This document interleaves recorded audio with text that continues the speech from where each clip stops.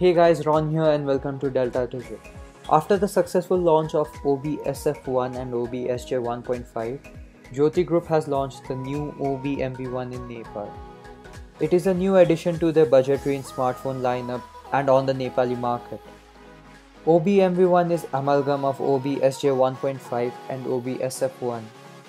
This combines the curved design of SJ 1.5 and floating display of SF1. Let's start with the design and spec. We have a 5-inch 720p IPS LCD screen with Gorilla Glass and oleophobic coating which protects the phone from scratch and fingerprints.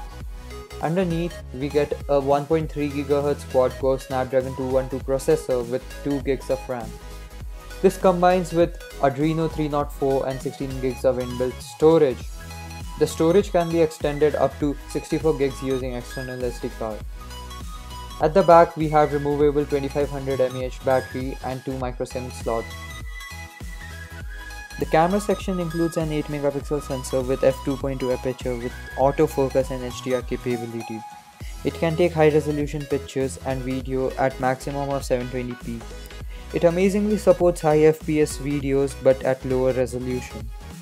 There is option for video at 480p at 60 fps and 144p at 90 fps. There is a 2 megapixel camera at the front which can take decent pictures and video for selfie or video conversation.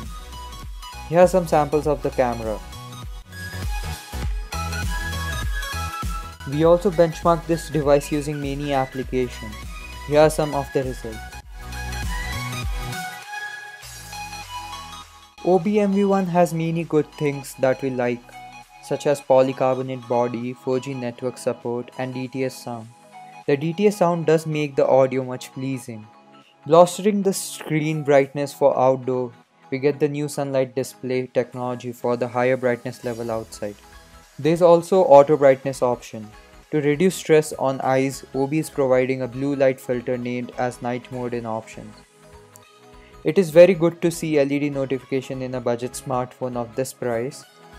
The best part of this phone is the OS. It runs on Cyanogen OS which is very smooth and fast. There are lots of improvements and optimization this time. We get themes option, we can download new themes from the store and apply them. The security has also been improved with the new pin lock scrambling and folder locking option built within the phone. We have always found the battery life of Obi phones to be brilliant and it's the same here. We get good screen on time with fantastic standby time. The power saver mode is also a great functionality. The internet browsing, movie watching experience and multitasking or app switching are smooth. There was no incident of heating or anything. Gaming experience is also nice in our test. Overall, it has a pretty solid build and power.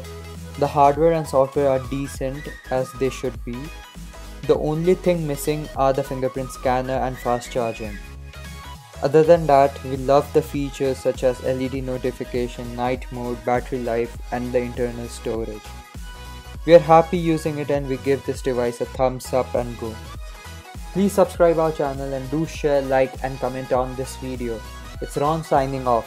Thanks for watching. Peace.